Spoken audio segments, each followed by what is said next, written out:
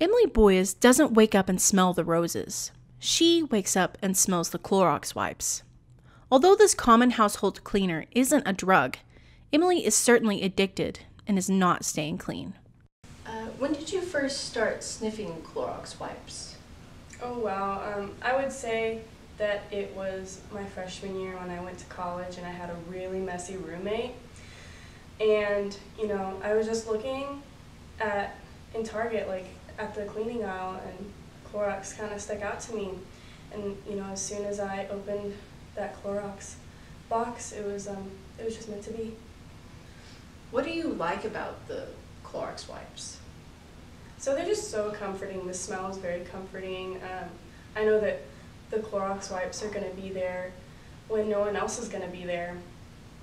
And it also just reminds me of being able to be clean and not having any bacteria anywhere except for that 0.01%, which I'm still working on, but it's a process. Where do you usually keep them?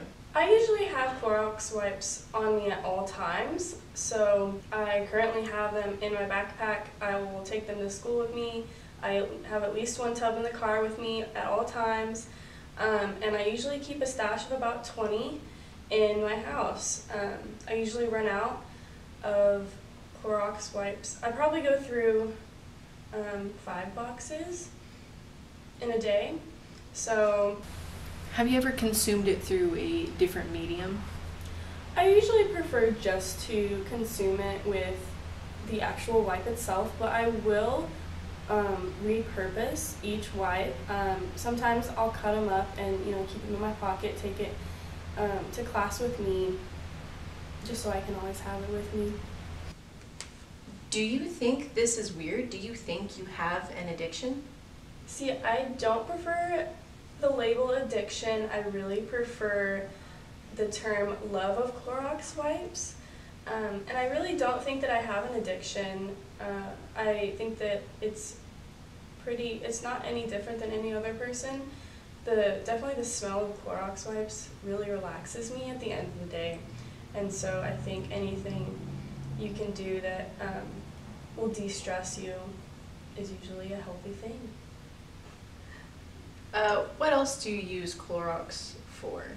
So I really use it for everything. It's a very versatile tool. Uh, I douse, you know, my food in Clorox. I'm really trying to aim for that 0.01% of bacteria. Not trying to have that in my life, but yeah, I cook with it. I clean with it. Um, you know, I'll usually use it as soap. Um, anything you can think of, Clorox is there. Are you worried you'll die?